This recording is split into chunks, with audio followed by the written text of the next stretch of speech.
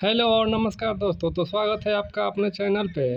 तो आज का टॉपिक हमारा रहने वाला है कि फायर वॉल जो होता है फोर्टीनेट का, उसको वर्चुअली हम कैसे कन्फिगर करेंगे और उसके लिए क्या क्या हमें करना होगा। तो इस वीडियो में आज हम वही कुछ देखेंगे।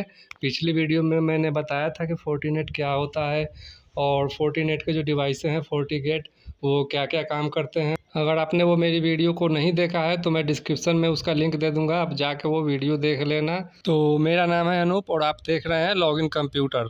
अगर आप चैनल पे नए हैं तो वीडियो को लाइक और चैनल को सब्सक्राइब करना ना भूलें। तो चलिए शुरू करते हैं।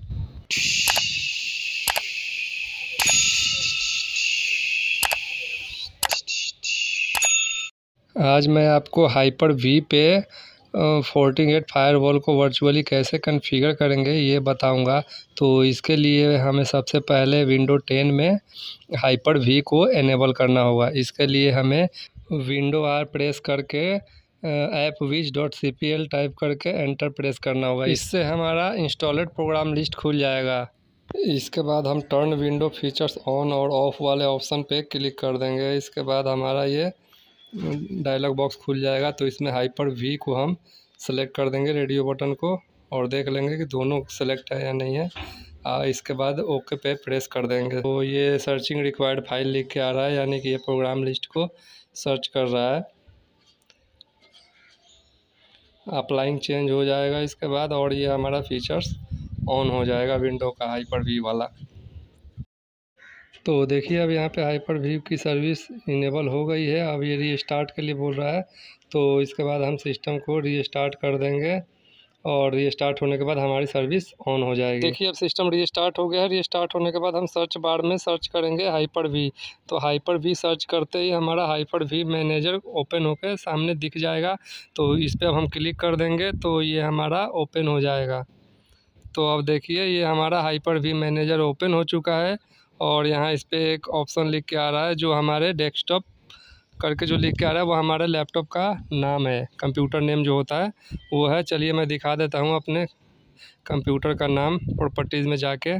तो यहाँ दिस पीसी पे क्लिक करूँगा और इस पर राइट क्लिक करके प्रॉपर्टीज़ में जाऊँगा।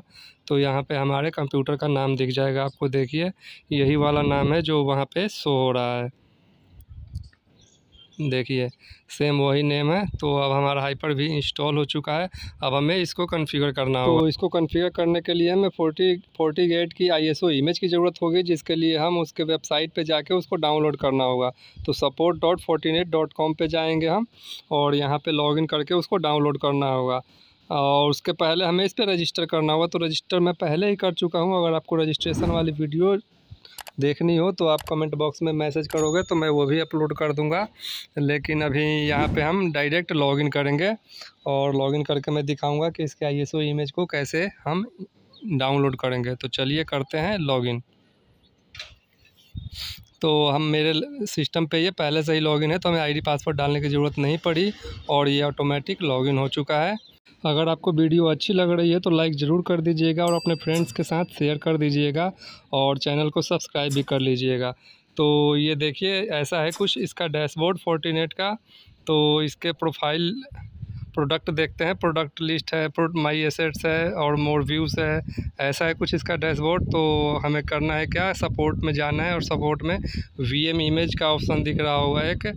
तो हमें वी एम इमेज पे क्लिक करना है और इस पर क्लिक करने के बाद हमें अपना हाइपर वी के लिए हमें इमेज डाउनलोड करना होगा आईएसओ वाला, जो हमें हाइपर वी पे कन्फिगर करना है। तो देखते हैं हम, यहाँ पे इसके प्रोडक्ट कई सारे हैं। तो हमें सेलेक्ट प्रोडक्ट में जाके हमें फोर्टी गेट सेलेक्ट करना होगा। क्योंकि फोर्टी नेट कंपनी के कई सारे प्रोडक्ट आते हैं, लेकिन हमें अभी फोर्टी गेट को कन्फिगर करना है। इसलिए हम फोर्टी गेट को सेलेक्ट करेंगे और यहाँ पे हाइपर वी के लिए चाहिए हमें वो इमेज जिसका यूज़ हम करने वाले हैं कन्फिगेशन के लिए। तो हाइपर वी पे सेलेक्ट करेंगे। और सेलेक्ट करने के बाद हम देखेंगे, इसमें दो ऑप्शन खुल के आ रहा है। इसमें से हमें जिस पे डॉट ओ यू टी है, ये फ़र्स्ट वाला, ये हमें डाउनलोड नहीं करना है, हमें करना है out dot hyper dot zip file ये डाउनलोड हमें करना है कन्फिगेशन के लिए हाइपर वी पे। तो चलिए डाउनलोड पे क्लिक कर देते हैं।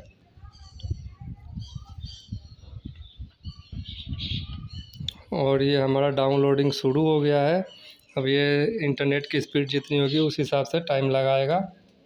तो देखिए, अब लगभग डाउनलोड कंप्लीट होने वाला है।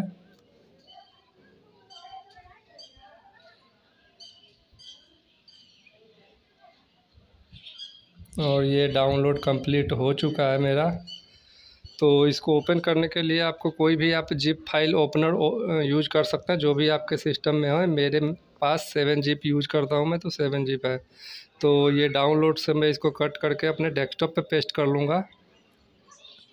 ज़्यादा इजी के लिए। तो ये डेस्कटॉप पे मैंने पेस्ट कर दिया और इसको यहाँ पे राइट क्लिक करके इसको मैं एक्सट्रैक्ट कर लूँगा डेस्कटॉप पे। तो हमारी सारी फाइलें एक फ़ोल्डर में आ जाएँगी। तो ये देखिए, इसमें कुछ फाइल्स हैं स्नैपशॉट नाम के है, इसके अंदर देखिए कोई फ़ाइल नहीं है और ये वर्चुअल हार्ड डिस्क है, जिसमें ये फोर्टीनेट वाला इमेज है हार्ड डिस्क के रूप में। तो इसी फ़ाइल को हमें हाइपर वी पे कॉन्फ़िगर करना है तो चलिए देखते हैं कि हम कैसे करेंगे। तो इसके लिए सबसे पहले हमें हाइपर वी को ओपन करना होगा तो आइए देखते हैं हम। यहाँ पे हाइपर वी को ओपन करते हैं और ये हाइपर भी हमारा ओपन हो गया है।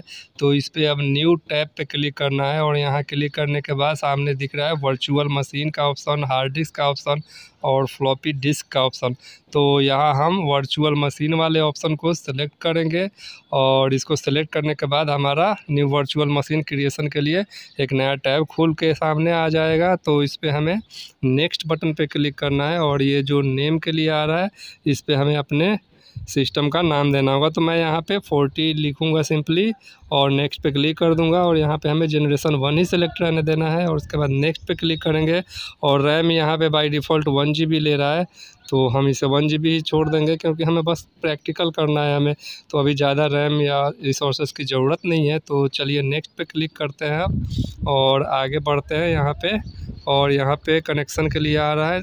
तो हम यहाँ पे डिफ़ॉल्ट कनेक्शन को चूज़ करेंगे डिफ़ॉल्ट स्विच को, ताकि हमें नेटवर्क मिल सके वर्चुअली अब यहाँ पे हार्ड डिस्क का ऑप्शन सेलेक्ट करने के लिए आ रहा है तो हम यहाँ पे वर्चुअल हार्ड डिस्क सेलेक्ट करेंगे, जो कि हमने पहले ही फोर्टीनेट का डाउनलोड करके रखा है।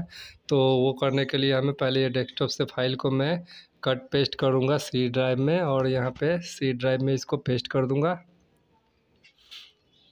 और पेस्ट करने के बाद इस फ़ोल्डर का मैं नाम चेंज कर दूँगा और इसको सिंपली लिख दूँगा फोर्टी ये हमारा फ़ोल्डर यहाँ क्रिएट हो गया तो अब हम वर्चुअल वाले सेकंड वाले टैब पे जाएँगे use existing virtual hard disk तो इसमें ब्राउज़ करके हम वही सी ड्राइव में जहाँ अभी इसको पेस्ट किए थे, वहाँ जाएँगे। दिस पीसी दिस पीसी के बाद सी ड्राइव पे क्लिक करेंगे यहाँ पे और हमारा फोर्टी वाला जो फोल्डर दिख रहा है उसको क्लिक करेंगे और वर्चुअल हार्ड डिस्क वाले ऑप्शन में जाएँगे और यहाँ पे फोर्टी ओ का जो ऑप्शन है इसको सेलेक्ट करके ओके कर देंगे और यहाँ हमारा हार्ड डिस्क सेलेक्ट हो गया। अब यहाँ पे हम सिंपली नेक्स्ट पे क्लिक कर देंगे और ये हो गया हमारा फिनिश फिनिश पे क्लिक कर देंगे और हमारा मशीन तैयार हो गया है। अब सिंपली फोर्टी पे कनेक्ट कनेक्ट पे क्लिक करेंगे तो हमारा सिस्टम सामने आ जाएगा और यहाँ पे स्टार्ट ऑप्शन पे क्लिक कर देंगे तो हमारा ये फोर्टीनेट फायरवॉल का मशीन स्टार्ट हो जाएगा। देखिए, स्टार्टिंग द वर्चुअल मशीन। अभी सर्विसेज़ रन हो रही है। अब ये देखिए, हमारा स्टार्ट हो गया है। लोडिंग शुरू हो गया है सिस्टम का और ये हमारा पार्टीशन जो है वो डन हो गया है। और ये हमारे फायर वॉल का सीरियल नंबर भी सामने आ गया और ये हमारा लॉगिन के लिए तैयार हो गया है। तो अब यहाँ पे सिंपली हम स्टार्टिंग में न्यू पे एडमिन क्लिक करते हैं और इसका कोई भी पासवर्ड नहीं होता है तो हम दोबारा एंटर करेंगे।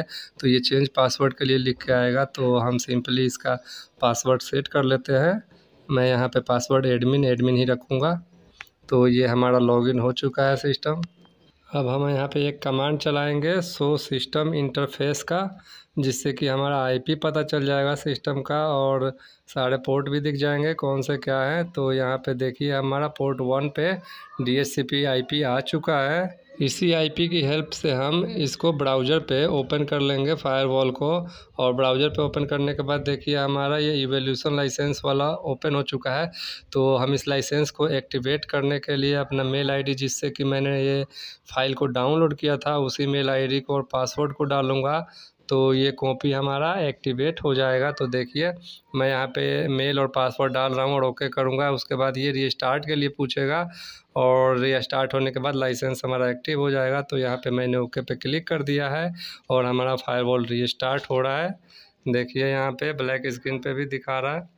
तो अब ये स्टार्ट होने के बाद फायरवॉल को दोबारा ऑन करके हम उस आईपी को एक्सेस करेंगे। तो देखिए, हमने आईपी के थ्रू फायरवॉल को एक्सेस कर लिया है। और ये हमारा इंटरफेस खुल के आपका सामने आ जाएगा। तो यहाँ पे हमने जो पासवर्ड सेट किया था एडमिन का, वही डालूँगा यहाँ पे। एडमिन ही है यूज़र नेम और पासवर्ड भी मैंने एडमिन रखा था। तो अब यहाँ पे लॉगिन पे क्लिक कर दूँगा तो ये हमारा फायरवॉल लॉगिन हो जाएगा। तो देखिए, हमारा वर्चुअल फायरवॉल लॉगिन हो चुका है।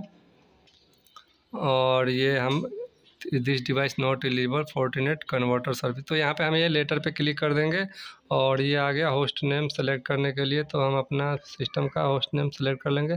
तो यहाँ पे मैं सिंपली फोर्टी ही रखूँगा और ओके पे क्लिक कर दूँगा और ये ऑप्टीमल पे ही रहेगा और ओके पे सेलेक्ट कर दूँगा। तो ये देखिए हमारा फायरवॉल लॉगिन हो चुका है बिल्कुल। हमारा डैशबोर्ड ओपन होकर सामने आ गया है और ये डैशबोर्ड देखने से कहीं से भी नहीं लग रहा है कि ये हमने वर्चुअल पे बनाया है या ओरिजिनल फायरवॉल को लॉगिन किया है। देखिए, हमारे सारे सर्विसेज़ सामने दिख रहे हैं यहाँ पे। और इसका नाम भी आ रहा है, वर्चुअल मशीन लिख के हमारा। तो देखिए, इंटरफेस हमारा लॉगिन हो चुका है फायरवॉल का सक्सेसफुली। अब इसको कैसे कन्फिगर करेंगे, इसकी सर्विसेज़ को कैसे यूज़ करेंगे और कैसे प्रैक्टिकल करेंगे, ये सब चीज़ें मैं आपको अपने अगले आने वाली फायरवॉल की सीरीज़ वाली वीडियो में बताऊँगा। तो तब तक के लिए बने रहिए हमारे साथ और चैनल को सब्सक्राइब कर दीजिए और अपने फ्रेंड्स सर्कल में शेयर कर दीजिए। तब तक के लिए धन्यवाद। मिलते हैं अगले वीडियो में किसी नए टॉपिक के साथ। तब तक के लिए धन्यवाद। Bye bye